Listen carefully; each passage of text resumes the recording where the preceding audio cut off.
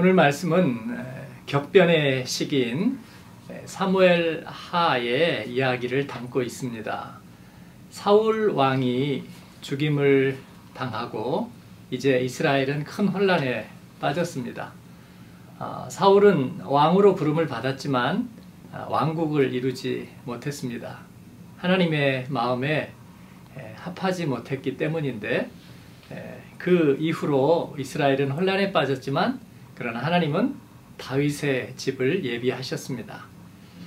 그래서 다윗은 하나님께 그 혼란기를 지나면서 어, 물었죠. 어디로 가야 할까요? 하나님은 그에게 헤브론으로 가라 하십니다. 아, 언약의 장소였던 헤브론으로 어, 다윗은 올라가고 거기에서 어, 다윗을 지지했던 아, 그런 하나님의 사람들 또 어, 유다 지파가 다윗을 왕으로 추대하죠.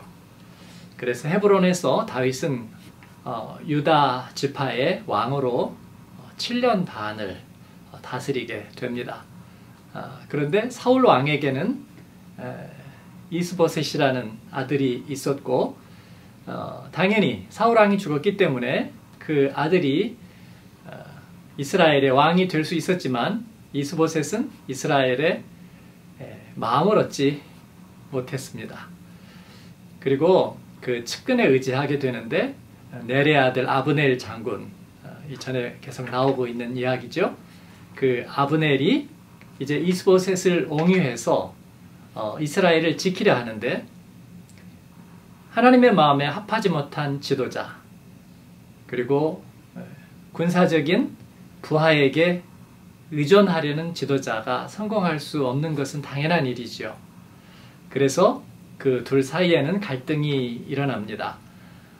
아, 이스보셋은 자기의 측근이자 거의 모든 어, 실세인 아브넬이 아버지 사울의 첩을 어, 취한 것을 가지고 도덕적으로 비난하고 어, 이에 대해서 분개한 아브넬은 이제 이스보셋을 떠나서 다윗에게 아, 이스라엘을 넘기고자 아, 투항을 하게 되는 거죠.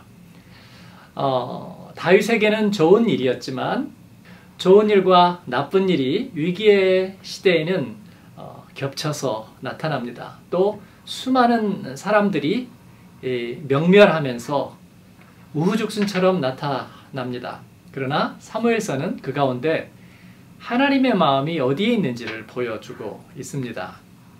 어, 다윗은 아브네를 어, 맞아들이고 그리고 평화롭게 보냅니다.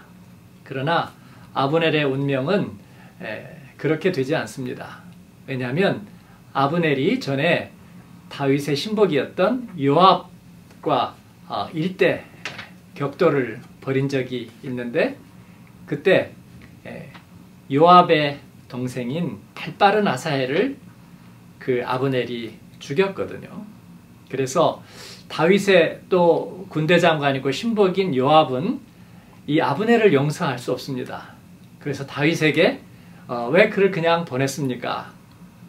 그러면서 자의적으로 자기의 실권을 가지고 가서 아브넬을 살해하게 되는 거죠. 어, 정말 많은 일들이 일어나고 좋은 일과 나쁜 일이 섞여서 일어납니다. 어, 여기에서 중요한 것은 그러나 분명한 명암이 드러나고 있다는 것입니다. 사무엘서가 우리들에게 보여주고 있는 것은 사울의 집과 다윗의 집의 대조적인 명암입니다. 하나님의 마음에서 멀어져 갔던 사울은 언약의 왕국을 이루지 못했고 또 그의 자손들도 역시 그 길을 벗어나지 못했습니다.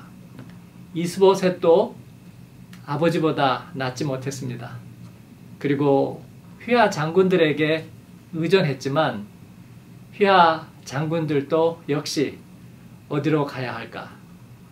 어, 다윗에게 의탁하려고 했지만 이미 그가 저질러 놓은 일로 인해서 그만 목숨을 잃게 되었습니다. 그러나 다윗의 집은 하나님이 약속하신 하나님의 약속의 집입니다.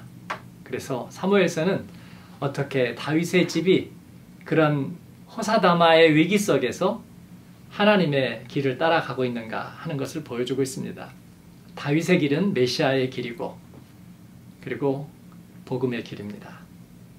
예, 사랑하는 여러분, 복음의 길을 걸으면서 우리도 다윗의 집과 같은 하나님이 함께하고 기뻐하는 그런 인생을 사시기를 축원합니다.